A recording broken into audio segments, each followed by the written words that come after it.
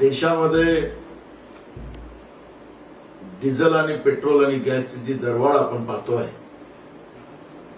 ज्या भाजपनी आपल्या स्वतःला छप्पन इंचीचा सीना आहे आणि मी देशाला एका आर्थिक महासत्ते बनवेल देशाच्या जनतेची गरिबी दूर करेल अशा पद्धतीचे खोटे आश्वासन देऊन नरेंद्र मोदीचं सरकार या देशात आलं. आज आपण पाहतोय की डॉक्टर मनमोहन सिंग साहेबांच्या सरकारच्या काळामध्ये शंभर डॉलरच्या वर कच्च्या तेलाचे भाव आंतरराष्ट्रीय बाजारपेठेमध्ये असताना सुद्धा देशाच्या जनतेला परवडेल या भावाने वेळ आला तर केंद्राच्या तिजोरीवर भार पडला तरी चालेल पण देशाच्या जनतेवर खिशाला भार पडू नये याची काळजी डॉक्टर मनमोहन सिंग साहेबांनी त्या काळात केली. शंभरच्या वर असताना सुद्धा सत्तर ते चौऱ्याहत्तर रुपयाचं त्या काळामध्ये डिझेल पेट्रोलचे भाव होते. आज आपण पाहिलं की आंतरराष्ट्रीय बाजारपेठेमध्ये कच्च्या तेलाचा भाव जो आहे तो त्रेसष्ट डॉलरवर आहे. आणि आता पेट्रोल आणि डिझेलच्या किमती शंभर पार करतात आहेत. म्हणजे जाणीवपूर्वक देशाच्या जनतेचे खिशे उठण्याचं पाप खिशे कापण्याचं पाप. नरेंद्र मोदीचं आणि भाजपचं सरकार करते हे आपण सगळेजण पाहतो आहे. काँग्रेस या सगळ्या व्यवस्थेचा या देशाला बर्बाद करणाऱ्या मोदी सरकारचा विरोध तेवढ्याच ताकदीनं करताना आपण देशभराबद्दल आहे.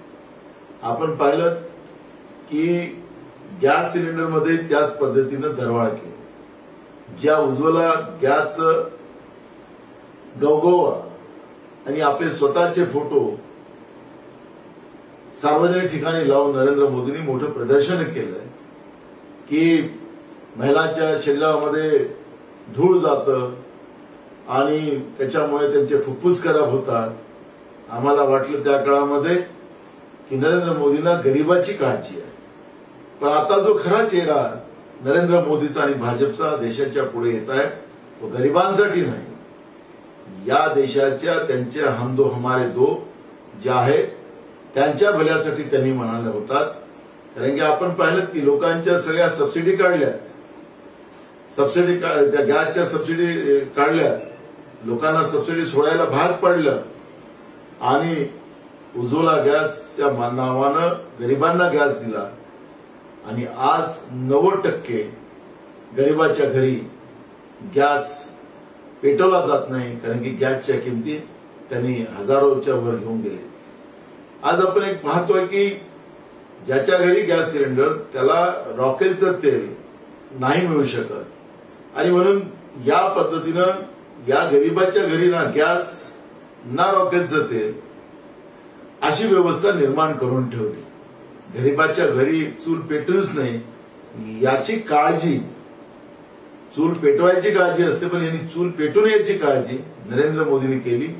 आणि आज देशामध्ये असंख्य लोकांना उपाशी मारण्याचं पाप नरेंद्र मोदीचं सरकार करते आहे.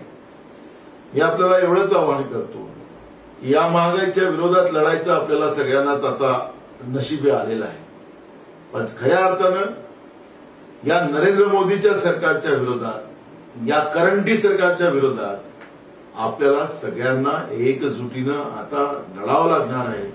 कारण की यांचा याच्या मागचा उद्देश एक आहे की ज्या मोठ्या कष्टानं मेहनतीनं या देशामध्ये पेट्रोलियम व्यवस्था असेल एलआयसी व्यवस्था असेल रेल्वे असेल अशा अनेक व्यवस्था भेल असेल अशा व्यवस्था काँग्रेसनी देशाच्या जनतेसाठी उभ्या केल्या. इंग्रज जेव्हा आपल्या देशाला त्यांना आपण हाकलून लावलं त्यावेळेस आपल्या देशाजवळ काहीच नव्हतं. कष्टाने मेहनतीनं या देशाला उभं करण्याचं काम काँग्रेसने केलं.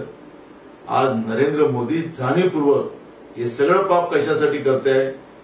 तर तुमच्या प्रॉपर्ट्या देशाच्या प्रॉपर्ट्या विकायचं पाप हे करतात. आहेत देश गरीब करण्याचं काम सुरू करतायत आणि म्हणून आपल्या सगळ्यांना एकजुटीनं या मोदी सरकारला सत्तेच्या बाहेर काढण्याचा संकल्प करावा लागणार. तेव्हाच या महागाईपासून आपली मुक्तता होणार आहे. मी म्हणून आपल्याला पुन्हा सगळ्यांना नम्र विनंती करतो की या महागाईचा सामना करायचा असेल गरिबीचा सामना करायचा असेल बेरोजगारीचा सामना करायचा असेल तर मोदी सरकारच्या विरोधात अभियान आपण सगळ्यांनी सुरू करावा हे आव्हान आपल्याला करतो. धन्यवाद.